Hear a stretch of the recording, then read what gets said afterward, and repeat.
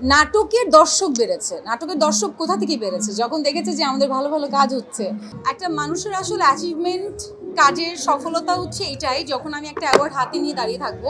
So আমার কাছে আসলে এটা একটা অ্যাচিভমেন্ট সো আমরা দিন শেষে আমরা সব আর্টিস্টরা কাজ নিয়ে বেঁচে থাকতে চাই, কাজকে ভালোবাসি।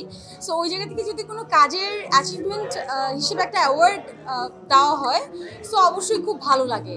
অ্যান্ড আমি সবচেয়ে বড় কথা, আমার খুব পছন্দের একটা কাজ নিয়ে অ্যাওয়ার্ডটা পেয়েছি, পুতুলের সংসার। অ্যান্ড রিঙ্কু ভাই ডিরেকশন দিয়েছেন। So thanks to my team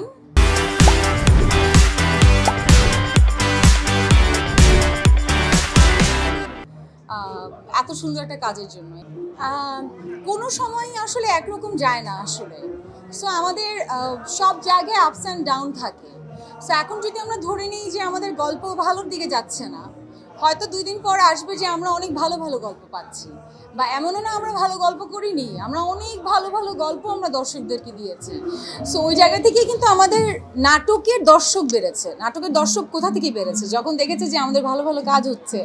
so আমার মনে হয় কোনো একটা আপস অ্যান্ড ডাউনের মধ্যে সেটাকে প্রায়োরিটি না দিয়ে আমরা নেক্সট স্টেপটা কীভাবে ভালো করব, ওইটাই আমাদের মেইন টার্গেট থাকা উচিত। সো আজকের মতো এখানেই। থ্যাংক ইউ সো মাচ ইনশাআল্লাহ আবার দেখা হবে। ভালো থাকবেন। Thank you so much thank you